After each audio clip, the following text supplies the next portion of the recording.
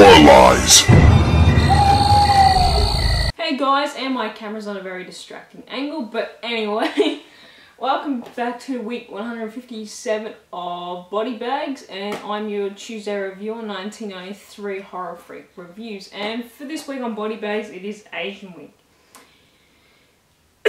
Sorry, I'm out of breath, I've actually got freaking getting cold. Freaking couple of days before New Zealand. Bloody hell. Anyway, so this week I will be reviewing Suicide Club, which I believe was made in the year 2001, and I'm not even going to try to pronounce the director and writer's name.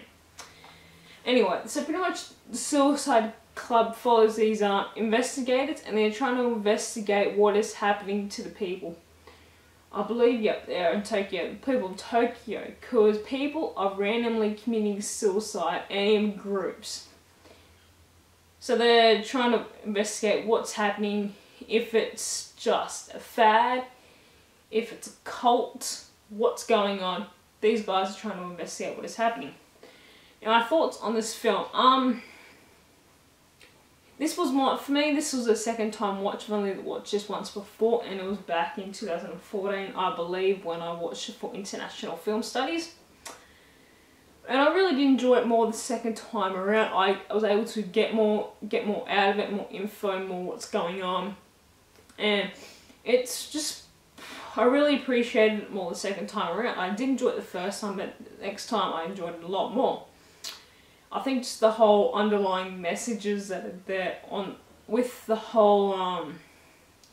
See, it's hard to explain to go into detail with this out doing spoilers on different types of certain people in this thing, but it does deal with, I guess, the whole connection with yourself and other people, like loving other people, but not, I guess, um, being able to love yourself. There's a whole connection of this. Um, these people trying to investigate what's happening because of uh, the one of the first shots in this is um 50, I think 54. Uh, yeah, also 50 something girls jump in front schoolgirls jump in front of an oncoming train. And this is what sparks the whole thing, because there is also a computer that has shows every suicide. So it's something that, especially this suicide is a very tuppy, tuppy, a very touchy subject, especially to a lot of, I mean, a lot of people. I I know someone that um, died of suicide. And it's one of those things like a lot of people do know someone that's taken their life, and it does deal with the whole what's. It does deal with that as well. The whole emotional side of of you who you are.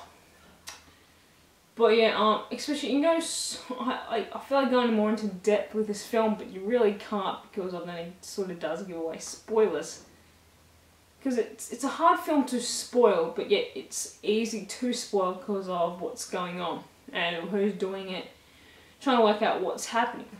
But I think that's the whole thing in this one. It is dealing with, it just deals with like, really of who you are, and that who you are and who you really are deep down inside the connection you have with yourself and suicide. If that makes any sense, I'll explain this because I've been railing on all day how to try to review this film.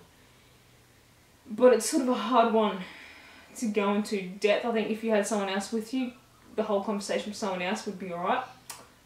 On your own, trying to explain to camera, definitely not. Um, I do highly recommend this one. I do give an 8 out of 10. Um, Suicide Club is a brilliant film, Japanese film. Especially, I'm not the biggest fan of Asian horror. I much prefer, I love, much prefer Spanish. But if I'm going to recommend any Asian horror on this channel, I do highly recommend Suicide Club. Check it out. Probably it's not for everybody, especially if you are very sensitive to suicide. Um, and I guess what with this one, it's not the typical Japanese horror where it deals with ghosts and ghosts and all that kind of stuff. It does more deal with emotions, which I found very like even just sitting down and yeah. anyway, that's all I'm going to say about Suicide Club. This review is very mumbled. Um, anyway, I'm not too sure if I'll be in next week or the week after. It depends if I can find out what weeks we are doing. If not, someone else will be filling in for me and I will be freezing my ass off in the snow in New Zealand. Anyway, comment below if you've seen Suicide Club and I will see you all later. Also, I'll leave down my uh, other channels. Um, my channel where to find me, and um, yeah, I will see you later with another review. Goodbye.